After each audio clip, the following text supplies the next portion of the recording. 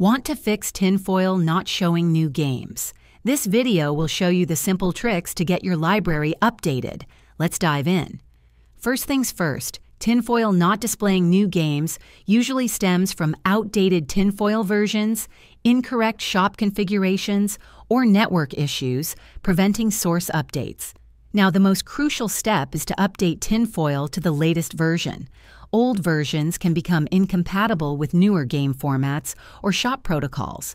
Download the latest release from the official Tinfoil GitHub or trusted community sources and update your installation. Next, check your configured shops or sources within Tinfoil. Go to Tinfoil's File Browser or Shops section. Ensure your shops are correctly configured with valid URLs and that they are active. If a shop is down or has changed its address, it won't show new games. You'll also want to refresh your shops or clear Tinfoil's cache. Look for an option within Tinfoil to refresh shops or reload. Sometimes clearing Tinfoil's local cache, usually in the Tinfoil folder on your SD card, can help. Ensure your internet connection is stable. Tinfoil needs a reliable connection to fetch game lists from its sources. Finally, ensure your device's firmware, Atmosphere slash SXOS, is also updated.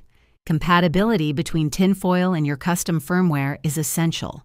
If issues persist, try restarting your device or re adding your shop sources one by one.